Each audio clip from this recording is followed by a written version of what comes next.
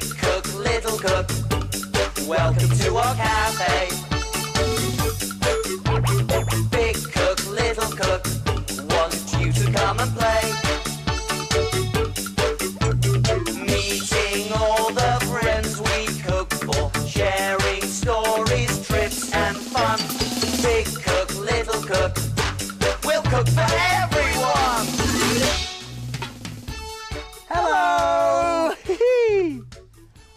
To our cafe, the best cafe in the world. We're just about to play a game. It's a guessing game. Hey, why don't you join in and play with us? Ben's going to hold up pictures of homes and we'll guess the animal that lives there. Okay then, Small. Let's get started. Okay. Now, who do you think would live in here? Ooh, something quite big. And look, there's some hay. I think I know what it is. It's a house for a horse. Yes, well done, Small. This is a picture of a stable, and horses live in stables. Here we are. There's Mr. Horsey. Let's pop him in his home, shall we? In you go. There we are. Now, let's have another go. Now, what kind of animal do you think would live in here? Hmm, this is a bit tricky. It's a small house and it looks a bit prickly. Yes, it does, Small. And it's made out of sticks and moss. And the animal who lives here goes tweet, tweet, tweet, tweet. do you know? I do. That's a picture of a nest. Birds make nests high up in trees. Yes, well done, Small. It is a picture of a nest, and a birdie lives inside it. There she is. Home you go, little Miss Birdie, in your nest. Okay, one more, I think, Small. Here we are. What animal lives in here? That's a hutch. Yes, and the animal that lives here goes. Someone who lives in a hutch and goes. Oh, a rabbit! A rabbit lives in a hutch. Yay, well done, Small. It is a rabbit. Here he is. Little Mr. Rabbit, in your hutch. There you go. Oh, and close the door. Very good. Now, what kind of house would you like to live in, Small? Oh, that's easy, Ben. A place to keep me warm when it's cold, dry when it rains, and a nice cosy place to sleep. in fact, I'm going to make myself a brand new house now. What do I need? Uh, Aha! Not yet, Small. Your plans for building a new house will have to wait. We've got a customer. I'm on my way. Woohoo!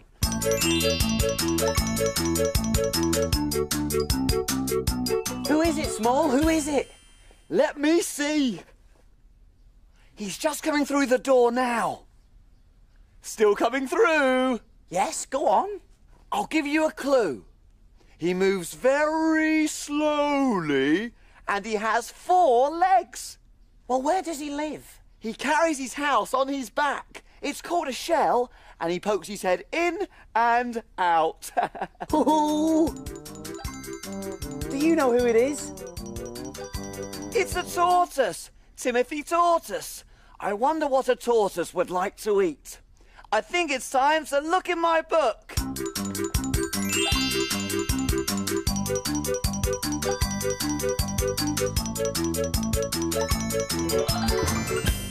We need a story to help us cook. Let's take a look in Little Cook's book. Little Cook's Adventures in the Big World. Let me see. It all began one sports day. Timothy Tortoise and Harry Hare were at the starting line, ready to compete in the big race.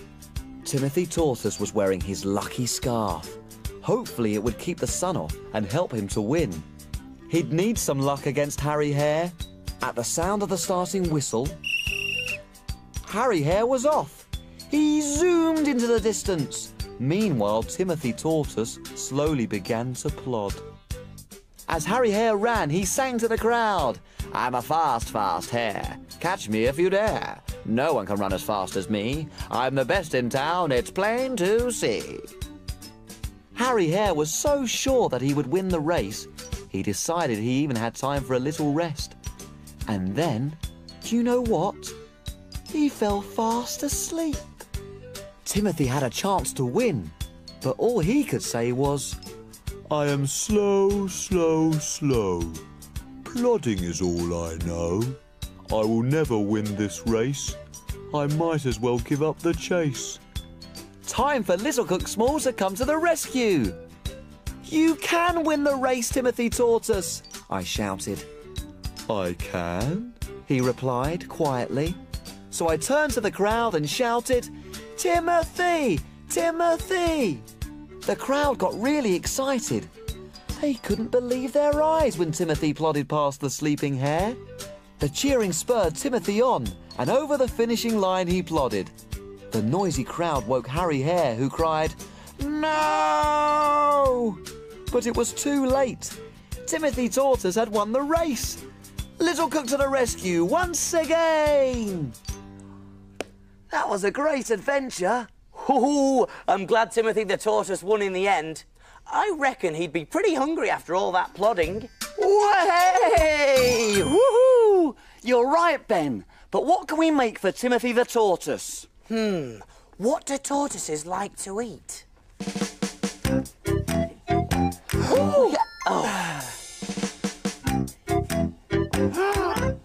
I know! Big Cook's Big Cookery Book! Of course, the big cookery book. There's recipes for everything in there. And where do we look for things to cook? In the book, in the book, in Big Cook's book. Oh, yes, here it is. Timothy will love this. Tortoise salad! The perfect thing! Yummy! Come on, Small, read out the ingredients. OK, let's see. We're going to need an apple, Over we go. Here we are. An apple, yep. a lemon, Oh, in here as well. Lovely lemon. olive oil, There we go. Olive oil. pita bread, Pita bread. Lovely and flat. Pita bread. Got it, Small. raisins, In the cupboard as well. Raisins. soft cheese, Here we go. Soft cheese. Got it, Small. tomatoes, Lovely juicy tomatoes. Got them. lettuce, Here we go. Lovely lettuce. and apple juice. Oh, oh don't think we've got any apple juice. Um, oh, I use another apple. Hey! There we are. Everything we need for the recipe. All I have to do now is get the juice out of this apple. Oh, I don't think squeezing it's going to work. Perhaps there's a tap on it somewhere. Oh, no, Small. Apples don't have taps. How do we get the juice out of this apple? Well, don't worry, Ben. I'll whiz off and find out. Great idea, Small. And I'll get everything ready. Hey, why don't you come along too? Way! Go, Small, go, Small, whiz away! I wonder what he'll see today.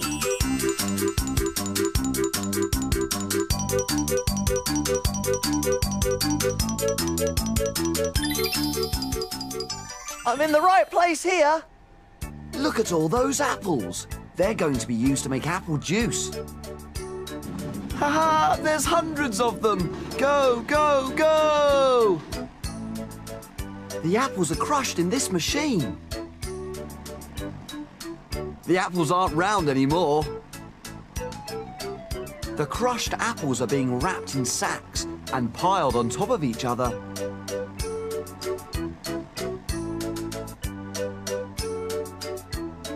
Now the tower of crushed apples is squashed so much that all the juice runs out. Look at all the juice! Pure apple juice is made from apples. Wow, look at all those bottles! The bottles are being filled with the apple juice from the crushed apples. Apple juice is a delicious drink. That was really interesting. Bye.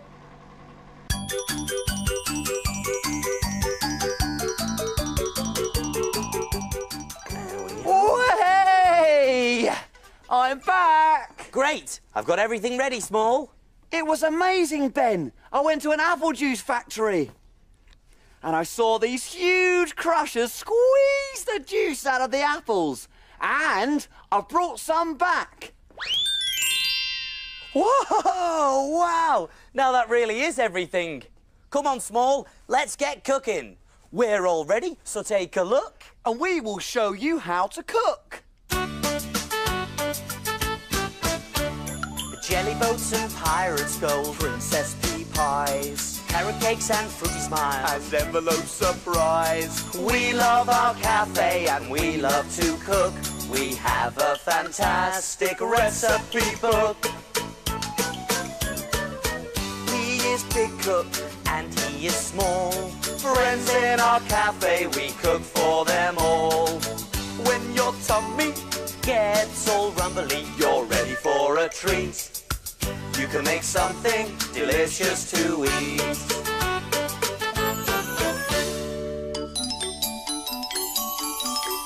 Have you cleaned the surfaces? Yes, have you washed your hands? Yes! All clean and ready to cook. Do you remember the ingredients to tortoise salad? You do? There was an apple, Half sliced, a lemon, the juice of one, olive oil, two tablespoons, pita bread, one, raisins, two, soft cheese, one tablespoon, tomatoes, two, cut in half, lettuce, a few leaves, and apple juice. half a cup. Whoopee! Let's get started! Okay, first of all, we're going to put the apple juice. In it goes. The lemon juice. And the olive oil into a plastic jar. There we are. Screw the lid on. Make sure it's nice and tight. And then it's shaky, shaky, shaky, shaky, shaky, shaky, shaky, shaky, shaky, shaky, shaky. I'm going to build a house. I'm going to make a house just like Timothy the tortoise. Shaky, shaky, shaky, shaky. Oh, hello. Forgot where I was there for a second. Right, I finished shaking the jar, so that's the dressing made. And I've also put the pita bread in the toaster. It looks about ready now, so out it comes with my oven glove on there. And make sure you get your grown-up helper to do that bit for you because when it pops up, it's hot, hot, hot. Ben, do you like my new house? It's starting to look like a tortoise shell. It's lovely small. But what are you doing now? I'm painting it so it looks like Timothy the tortoise's shell. Good idea, Small. So now I've cut the pita bread in half, and this is going to be the tortoise's body. So I'm going to spread in some of the soft cheese. There we are. In it goes. Oh, this is going to be very tasty. Little bit more. There we are. And I'm going to pop in some lettuce as well. There. Piece of lettuce nicely inside, and a little bit of apple. All in. So now, let's see our tortoise's body stood up on the plate. What are you doing, Small? Oh, I've finished painting the sides. I've now started on the pattern. Now, I've cut another piece off from the other slice of pita bread, and into that, put some more soft cheese. In it goes. A little more. And then the lettuce. There we are. And a nice piece of apple. Good. This is our tortoise's head. And if I pop a raisin on either side with a little bit of soft cheese, they should look just like eyes. On it goes. There. It's starting to look just like a tortoise now. That looks brilliant, Ben. I'm now going to back into my new house. Here goes. Oh, I'm starting to look like Timothy the tortoise. Head in, head out. Head in, head out. Very good, Small. Hoo-hoo. So finally, I've cut our last piece of pita into four equal pieces. These are going to make our tortoise's legs. So I'm going to pop them on. One, two, three, four. And we can then put the pieces of tomato on to give our tortoise nice round feet. There's one. There's two. Oh, careful. Three and four. He's looking very good. And we can use our last pieces of salad to just pop around the side of the plate. Very nice. And some apple on there. It's looking just about ready, but before it's finished, it's just time for one more shaky, shaky, shaky, shaky, shaky, shake. Woohoo! Pop the salad dressing onto the salad. Just a little, nice and careful. There we go. And a little more. Very good. Oh, it looks great. I think Timothy the tortoise is going to love this. What do you think, Small? Small? Small? Oh, where has he got to now? Hello, I'm a tortoise. What a great tortoise shell, Small. Oh, it's lovely, but I don't really look like Timothy the tortoise, do I? Oh, I think you've done a lovely job there, Small. Come on, let's get this through to Timothy the tortoise. It looks delicious. Whoo! One terrific tortoise salad coming through. There we are. Whew! All done. So what do we do now? Can we play? Not yet. Time to clean and put away. Hooray!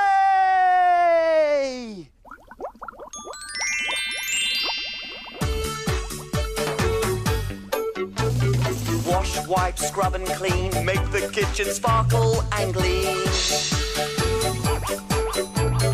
My name's Ben. And my name's Small. We've got the cleanest kitchen of all.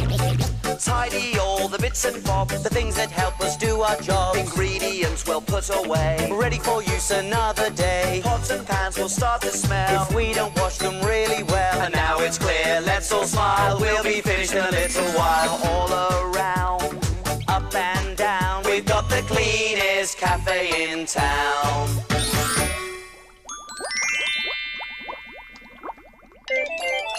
Aha! Here comes the plate. Has Timothy the tortoise finished his salad, Ben? Oh, yes, he has. And look, Small. He's left us a note. What does it say? What does it say? Let's see, shall we? It says, Dear Big Cook Ben and Little Cook Small, thank you for my terrific snack. I love salads. I told you tortoises love salads. I'll never forget how Little Cook helped me to win the race. I've never won a race before, and in return, I'd like to give you this present. Oh, I think Little Cook might find it useful. Ooh. Here you go, Little Cook.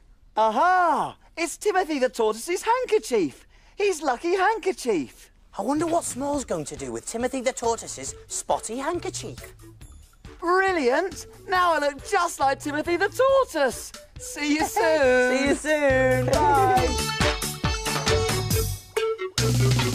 Big cook, little cook, welcome to our cafe. Big cook, little cook, we'll cook for everyone. We'll cook for everyone.